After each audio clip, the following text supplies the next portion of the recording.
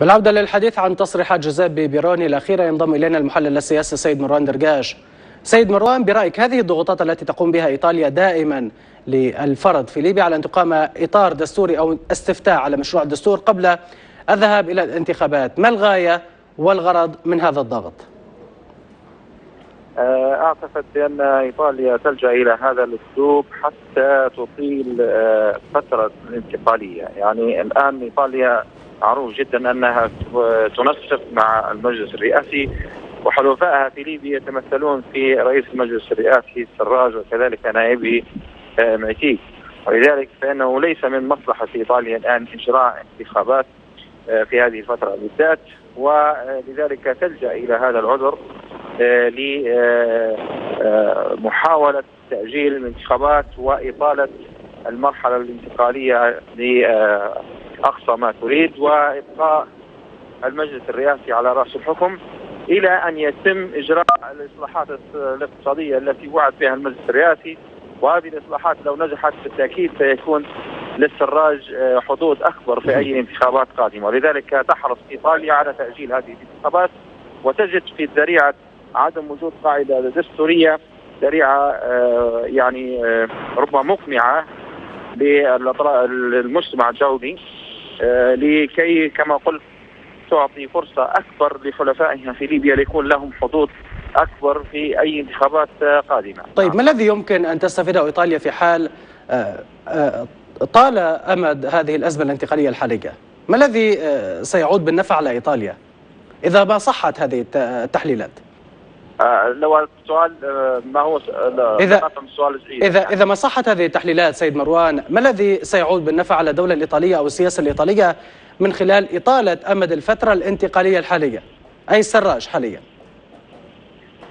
آه نعم نعم آه أنت تسأل آه يعني آه إذا كان آه سوف تطول المرحلة الانتقالية ما هي السياسة في إيطاليا بالتحديد بالتحديد. نعم. إيطاليا تتجه إلى أن تكون هي المرجعية في الملف الليبي لأوروبا وهذا ما صرح به الرئيس الأمريكي دونالد ترامب في لقائه مع رئيس الوزراء الإيطالي جوزيف جوزيف كونتي في زيارته إلى الولايات المتحدة الأمريكية. وإيطاليا بالتأكيد في اقصاء خصومها وهم فرنسا من الملف الليبي وتحاول أن تكون هي المرجعية.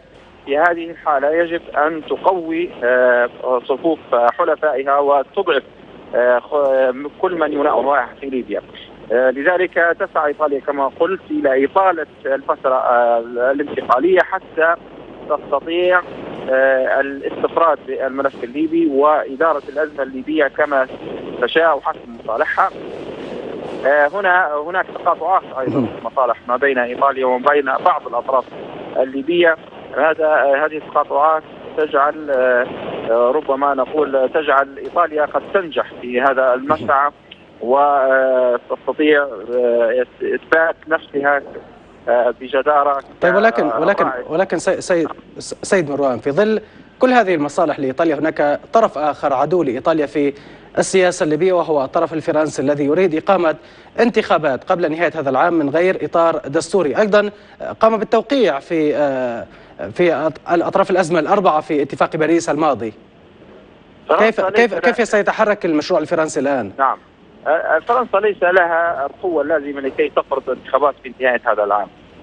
الانتخابات كما قال السفير الإيطالي تحتاج إلى اعتراف من كل الأطراف الليبية حتى يمكن أن تصبح شرعية، لذلك تكلم السفير الايطالي وقال بأن أي انتخابات لا تجري لا تجري على قاعدة دستوريه فإن هناك أطراف ليبيه سوف ترفض نتائج هذه الانتخابات. وإذا رفضت نتائج الانتخابات من أي طرف من الأطراف الليبية الذي له وزنه على الأرض فإن هذه الانتخابات ستفشل في تقديم أي جسم يحكم ليبيا بشكل شرعي وبشكل متقبل من الليبيين.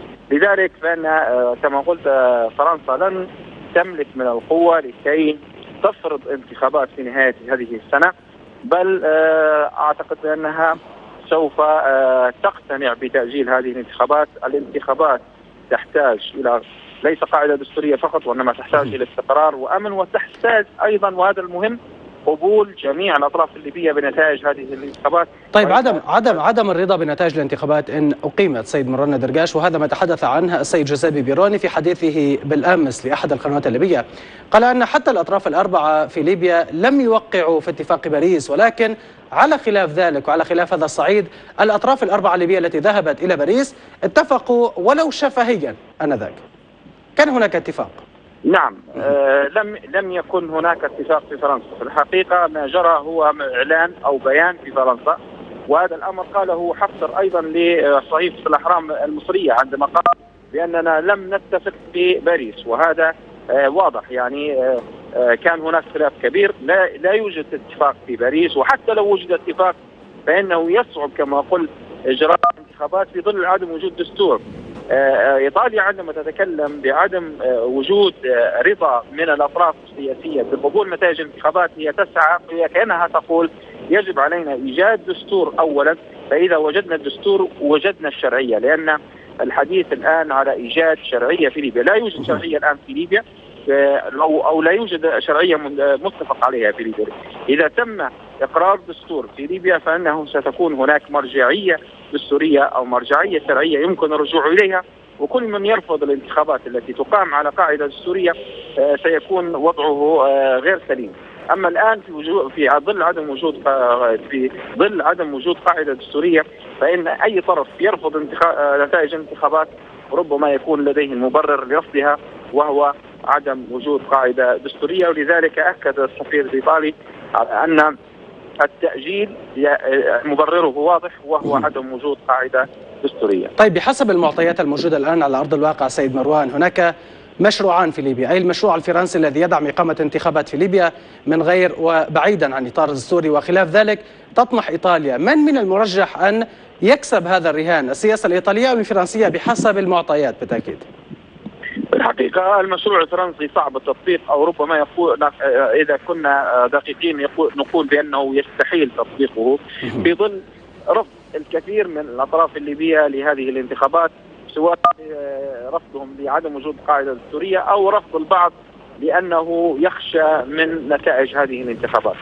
أما المشروع الإيطالي فربما هو الأكثر اقناعا أو ربما الأكثر حظوظا في التطبيق على الأرض لأن المشروع الإيطالي يدعو إلى إطالة المدة المرحلة الانتقالية وإجراء انتخابات برلمانية فقط لتغيير الأجسام الموجودة الآن والتي فقدت شرعيتها وفي ظل والى حين إنتاج دستور أو التوافق على الدستور أو حلحله الخلافات التي تدور الآن حول إقرار مسوده الدستور، لذلك طيب. أعتقد بأن المشروع الايطالي هو الأقرب إلى التنفيذ طيب. على الأرض وليس المشروع الثاني. طيب وصلت الرأي أشكرك جزيل الشكر كنت معنا عبر الهاتف المحلل السياسي السيد مروان درقش.